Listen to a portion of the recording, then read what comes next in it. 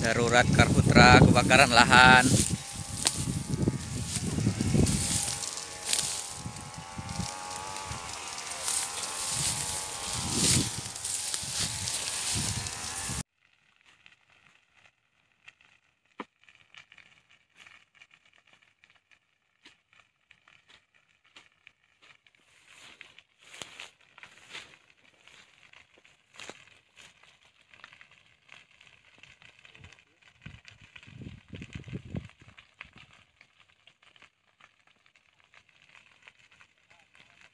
Kami berjuang sampai malam memadamkan api.